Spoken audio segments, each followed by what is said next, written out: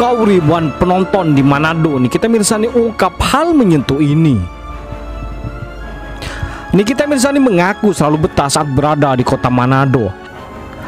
Hal ini dikatakan artis yang terkenal dengan kontroversinya ini saat tampil menghibur pengunjung salah satu kafe di Manado pada Minggu 29 Desember dini hari tadi.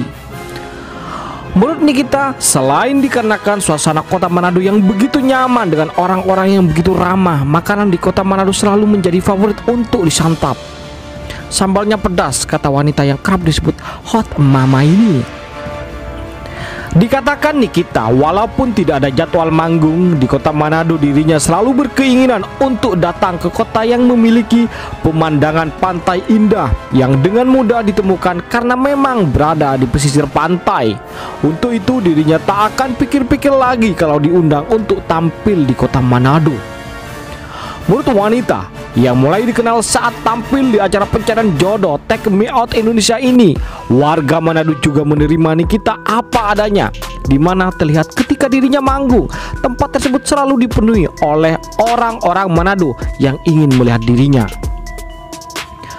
Kota Manado selalu menjadi spesial untuk Niki.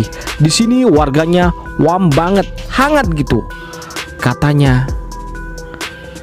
Makanya selalu bikin Niki ingin balik lagi ke Manado.